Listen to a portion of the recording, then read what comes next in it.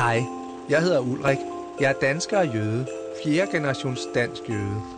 Normalt tænker jeg ikke over, at jeg er jøde. Det er bare noget, jeg er. Det kan jeg godt lide. I 1908 ankom mine bedsteforældres forældre fra Rusland til København. Det eneste, de havde med sig, var nogle fine due og en russisk samovar.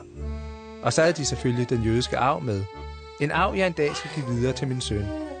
Men det er svært, når man forelsker sig i en dansk pige, som er helt igennem dansker. Nogle gange så tænker jeg, kan vide, hvorfor du ikke bare har mødt en jødisk pige i stedet for.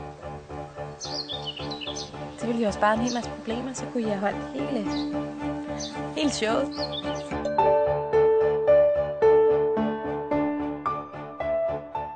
Men det var hende, jeg ville have, fordi hun var smuk og helt sin egen. Ja. Okay. Nej. Da hun besøgte mig første gang, ville jeg fortælle, hvem jeg var, og hun straks familiealbummet frem. Her er min mor. Jeg gør det der apparat. Her er min far. Jeg at lave en film. Jeg at lave en film. Hvor jeg prøver at finde ud af, hvad det vil sige at være jøder. Hvorfor? Hvorfor? Vi er tre børn. Min bror, min søster og mig selv. Min moster og hendes mand er jøder, og det er deres piger også. Så meget, at de tog til Israel for at finde deres mænd.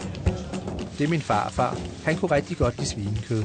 Det spiser vi andre ikke, fordi det er forbudt. Mange gange smager smager svinekød betyder bedre. Min farfar lever ikke længere. Det var hans forældre, der kom til Danmark i 1908. Og her er min mormor. Du tager mig ikke. Jeg, jeg lover dig for, at jeg bliver rasende. Min mormors familie kom hertil i 1912. Der var hendes mor gravid, og hans far blev bundet til masten, fordi han var så søsyg.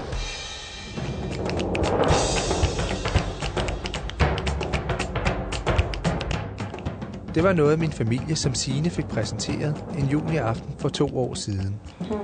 Nu er hun gravid med vores første barn.